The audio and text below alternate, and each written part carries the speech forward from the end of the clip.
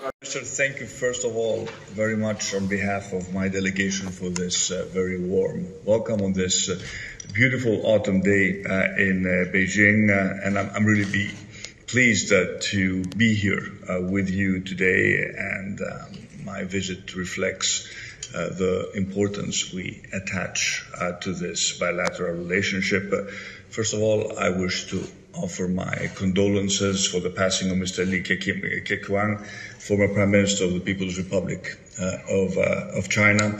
Uh, and I would like to reiterate what you mentioned that our bilateral relations uh, are at a very good uh, level. I would like to remind ourselves that we celebrated the 50th anniversary of our diplomatic um, um, relations uh, last year.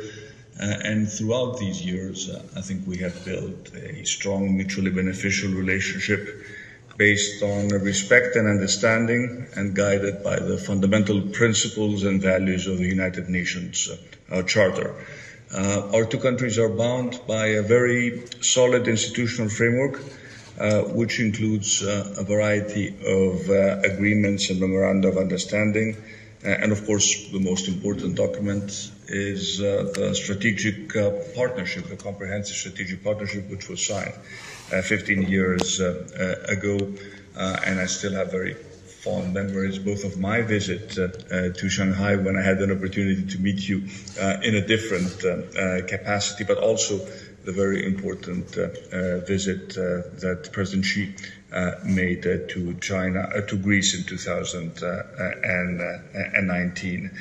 I would like to point out that we very much uh, appreciate um, the recent upgrade uh, of my country's uh, sovereign credit rating by two of the greatest uh, Chinese credit rating uh, uh, agencies, and this constitutes a tangible um, token of confidence of Chinese investors in the progress of the Greek economy and its outlook. And we hope that this meeting um, will be a springboard in order to continue to attract uh, Chinese investment uh, to Greece uh, and to also foster stronger economic cooperation.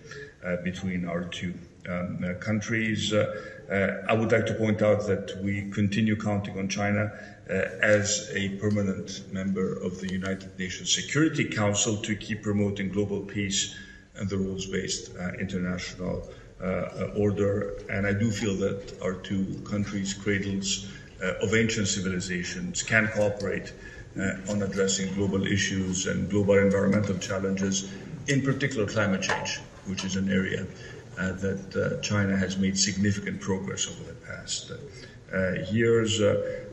finally, let me point out that we have a very strong cooperation in the field of culture, as one would expect. we represent two of the most ancient civilizations. As you know, my Minister of Culture was in Beijing um, very recently.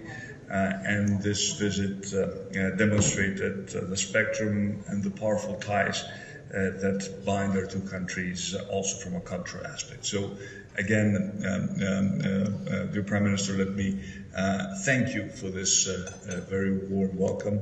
and we are looking forward to, to having a very productive discussion.